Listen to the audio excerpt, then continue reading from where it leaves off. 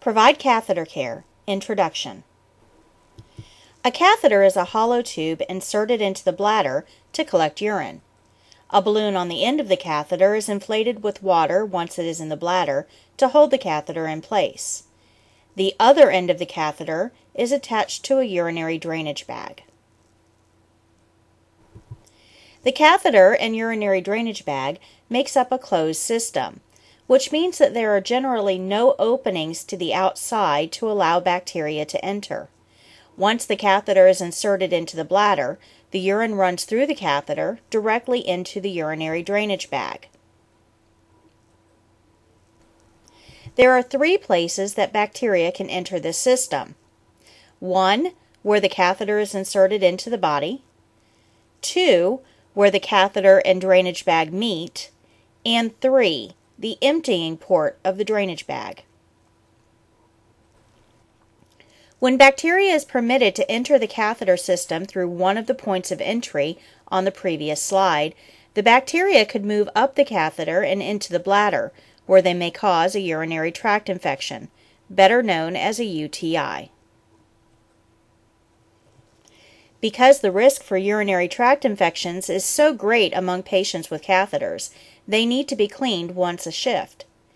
Catheter care involves cleaning the catheter tubing and the skin around where it enters the body, an area known as the urethral meatus. This presentation and the videos will demonstrate how catheter care should be performed to minimize accidental contamination and reduce the likelihood of your patient developing a urinary tract infection. You will need to place a barrier under the patient's hips before beginning this skill. This will keep the bed from getting wet while you are washing the patient. You will definitely be exposed to body fluids during this skill, so gloves are mandatory. Put your gloves on before placing the chucks on the bed under the patient's hips. Make sure you check to see where the catheter tubing is on the bed before you turn the patient to place the chucks under their hips. Leaning against the catheter tubing on the bed while the patient is turning can pull on the catheter and possibly pull it out. When filling the basin with water, use a paper towel to turn the faucet on and off. Your hands will be clean and the faucet is dirty. And check the water temperature with the inside of your wrist. The water should feel warm, but not hot. Since this is a washing skill, you will need to ask the patient to check the water temperature before you use the water on a sensitive area to make sure the water is comfortable for the patient. Privacy is important in every skill, but it is very important when performing skills where the patient will be uncovered or undressed. For these skills, we use a privacy blanket, also called a bath blanket, to cover the patient with while we perform the skill. When you are ready to begin the skill, roll the patient's gown inside the privacy blanket up to the patient's waist to expose the peri area. In addition, you will place the towel over the patient's thighs to help ensure as much privacy as possible. This method exposes only the area we will be working on and makes the patient more comfortable. The following slide will illustrate how the patient should look at the beginning of the skill. Notice that the bath blanket is rolled to the waist, the towel is draped over the thighs, and the only area that is exposed is the peri area. Holding the washcloth a certain way will allow you to use the leaves or corners of the washcloth to clean the peri area without using the same area of the washcloth twice.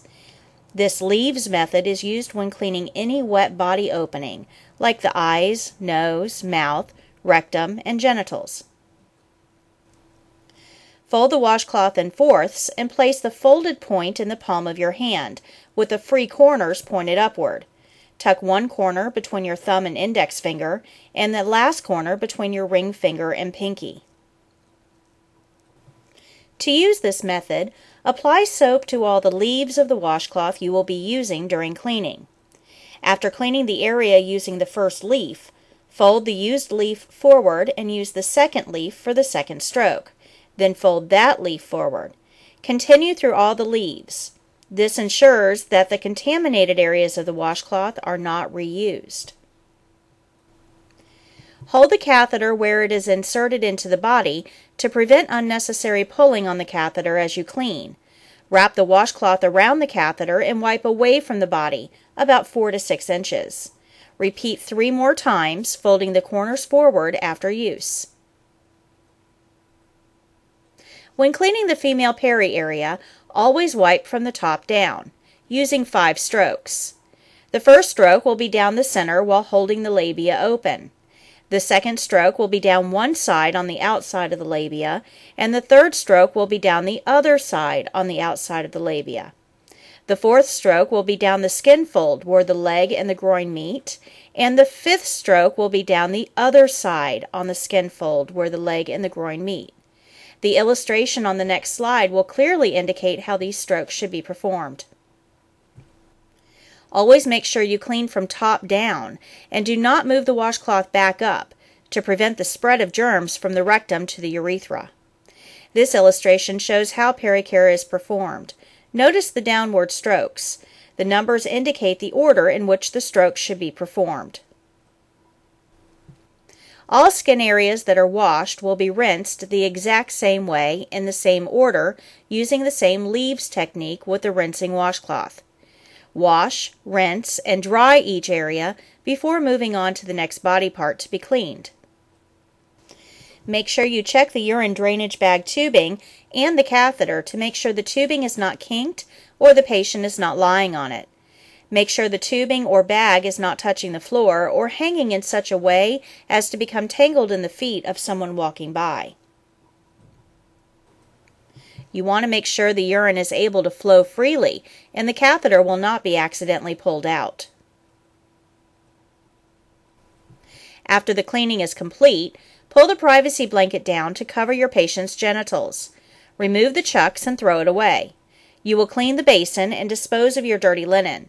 Do not touch the patient's top sheet with your soiled gloves on. Think about where your gloves were, and the sheet will be pulled up next to her face. After you remove your gloves, take the privacy blanket off by touching only the underside of the blanket and not the top of the blanket that was touched by your soiled gloves, and replace the top sheet over the patient. Perform your closing. Watch the instructional video for step-by-step instructions on how this skill is performed. Then try this skill on your own.